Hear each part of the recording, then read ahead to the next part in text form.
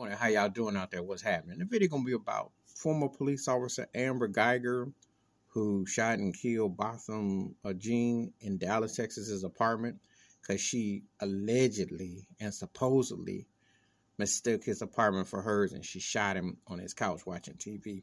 And you remember it was his brother who gave her a hug in court for forgiveness, you know, what have you. And she's trying to appeal to get out. This is her second appeal to try to get out, and the judge told her no. She has a 10 year sentence, and she's already started serving some of it. Um, she got 10 years for murder, and she's crying about it. Hmm. There are people who done 10 years who smoking a joint and they couldn't get half the opportunity she's gotten. So no one is going to cry about her privilege. You know, it's like spilled milk. Bottom line is, she should have gotten way more than a 10 year bid for a known cold blooded murder. That was a cold blooded murder. And Amber Guyger, let's be realistic. When she gets out, they'll probably have a book deal for her, a TV movie or something. They'll have something because you know there'll be some sympathetic sympathy to her what she did. But that was straight up murder.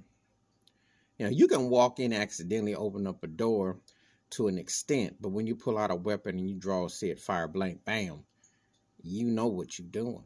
So now when you get this sentence, you gotta serve it. They sitting up there trying to play like, oh well, you know, it's too much time, I'm gonna appeal this.